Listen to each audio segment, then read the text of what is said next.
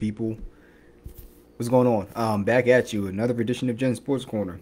Uh, it's been a little bit. I uh, wasn't feeling feeling uh, well uh, recently, but um, stay on page. See, yeah, I wasn't feeling well recently, but I'm I'm back. So certainly uh, it's good to be here, and I'm I'm here to talk about the Eagles, man. Week one, what a game! You know, I'm glad they got down to Brazil, got back safe, and we got to find out a lot of things about this team in game one. So let's start out with the, the final score 34-29 it was it was a a shootout at points in this game and even though the score was high it doesn't really begin to tell uh, the tale of what the defense was able to do for this Eagles team in terms of keeping us in the game. Um, you look at Jalen Hurts, 20 for 34, 278 yards, two touchdowns, two picks. He had a really bad interception um, uh, as well as one. He should have had three interceptions. He had one on the sideline near the 10 yard line. We were in the red zone, and he dropped back and he was looking to the flat, and he scanned back to the middle of the field, didn't see any, see anything, and he tried to throw it back to the flat. It's like, dude, the defender's sitting on that route, and he was very fortunate that that wasn't a pick six. But you know, all in all, he was able to make plays down the stretch when it mattered. And the a big reason why the Eagles were able to win was because of the defense, obviously, and Saquon Barkley, among other things. Saquon Barkley, 24 carries, 109 yards, and two touchdowns.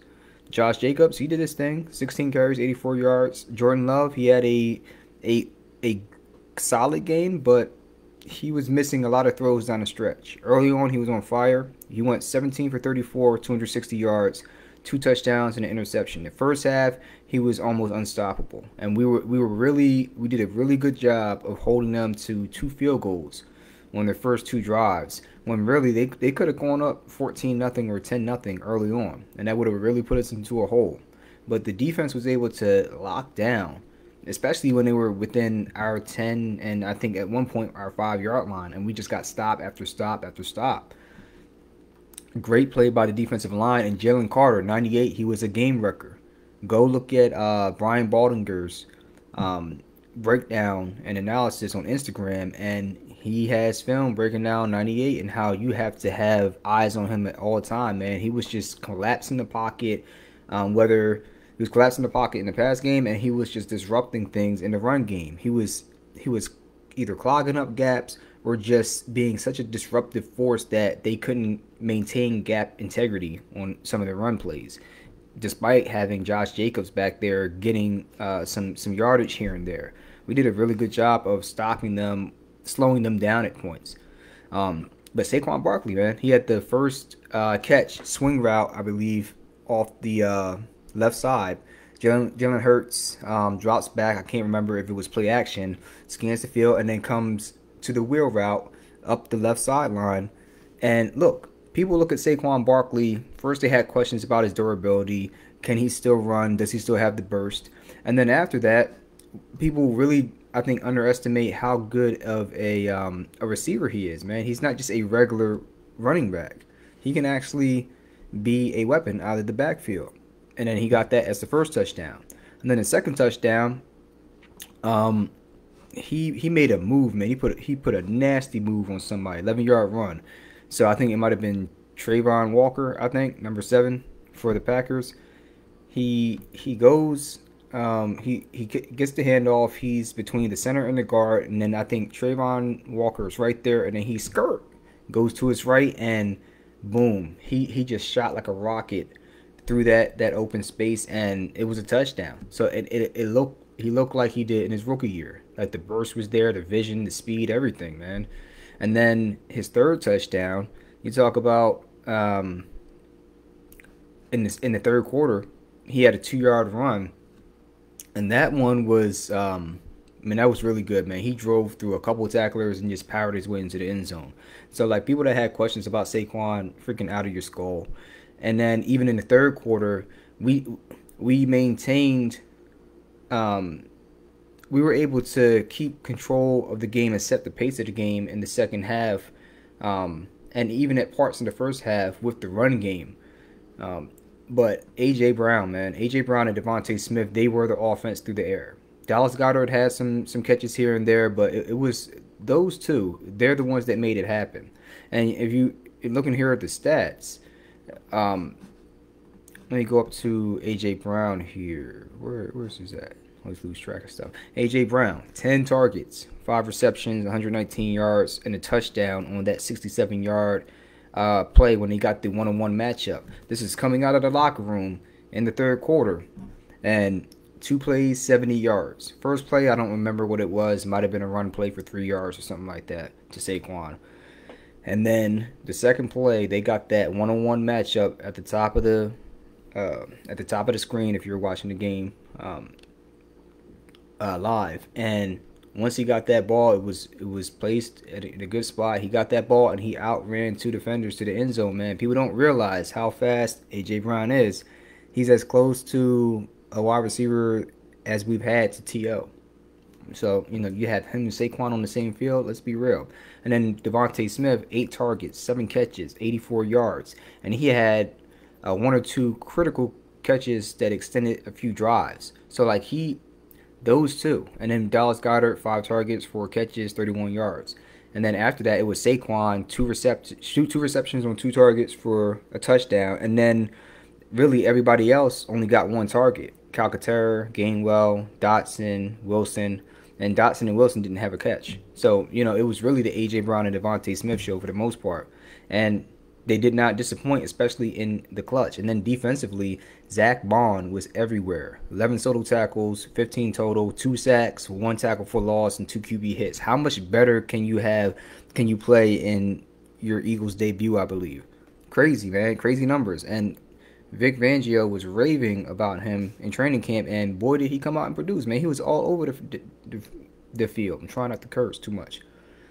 And then Reed Blankenship, eight total tackles, four solo tackles, a pass deflection, and then he had a key interception um, at a critical point in the game where we needed a play. Okay, so you got that interception, and then that led to. Um, let's see, I think it was it led to the third Saquon Barkley touchdown from two yards out. He got the interception. They had gone Green Bay had gone up twenty six to twenty four, and we probably started out on a drive, gave them the ball back, and they were starting to move. Move. They they had the ball in their. I think that was the after a punt. They got the ball in their territory, and then we were able to force that interception. And then speaking on that, the other thing that kept us in the game was special teams. I know this kind of flew under the radar, um, but you know Jake Elliott, two field goals, two critical, um, uh, two critical kicks, man, got us six points. But even more so, our punter, man, uh, Braden, man. Let me see, let me see, let me see, get, get his name right. Uh, yeah, Braden Mann. two punts, 101 yards, and he had it. So his net average was 50.5, and he had a long uh, punt of 54 yards the a good net average for a punter would be 45 yards because if you punt the ball 45 yards, you're pretty much flipping field position. So if you're averaging 50, your team is always going to be in position to be in that game because you're forcing the other team to drive down the field every time. And look, like I said, I said I think I said in the previous video on the uh, initial 53 man roster how Braden Mann was their guy now. They gave him a deal, and he had a great, uh, really great year last year. I think I, I said that, and he's going to uh, be crucial for this team to win.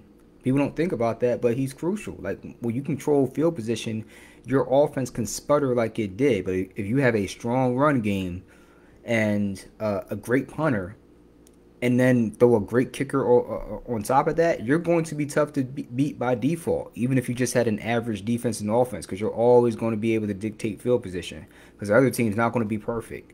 Even the, the great teams, they stall out against average teams from time to time. And if you can always um, pin the other team back, even with a high power offense, if you're going against them, um, you'll be able to keep yourself in the game because you're constantly going to put the pressure on them to be perfect every drive and drive down the field.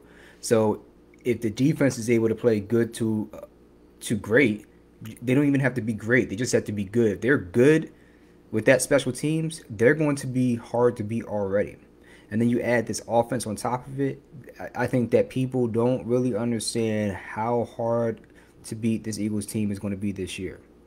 Well, I'm telling you, I'm telling you, they were able to win this game against a very good Packers team, despite having um, two to maybe three turnovers, um, three turnovers, two two of them being interceptions, and one being a fumble on a snap from Cam Jurgens to uh, Jalen Hurts, I think and and then we weren't able to even get a fumble that we forced from out of Josh Jacobs from uh, big pay, play Slay. And even with all that, it's the running game, the defense, and that special teams um, that allowed us to get a win over a very very solid to good Packer team with Jordan Love at the helm on the road in Brazil.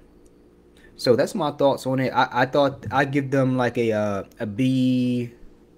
I give them like a, a B for their grade. Okay, they, they did a lot of they did what explosive teams do in the clutch when they need to get shit done. All right, and and they made the plays when they needed to. But obviously, they shouldn't have been in some of those situations to begin with. Had they uh, been doing what they were supposed to from the get go. So I give them a B grade. Um, so now they can go back, uh, clean up the the uh, rough parts, and these a lot of the mistakes they made are, are, are fixable. They're they're they're simple simple things, but um, at least we came out with the dub and we're able to lick our wounds while celebrating the victory. So let me know what you guys think in the comments, and I will be, ma- be making a video uh, for my Raiders fans um, probably tomorrow or Wednesday, and I'll talk about that loss.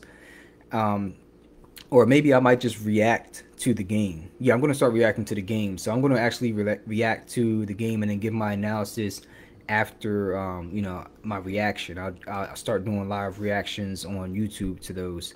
But obviously, I, I, heard about the score and I wasn't pleased. But was I really surprised going into Week One? No. So um, I, I, didn't think we were going to beat the Chargers, even though the Chargers are going through a little bit of turbulence with the roster turnover. But um, they they were still the better team. So let I want to go and look at the game and see where our weak points are and um, then also see where our strong points are and see what we need to do to get better this season.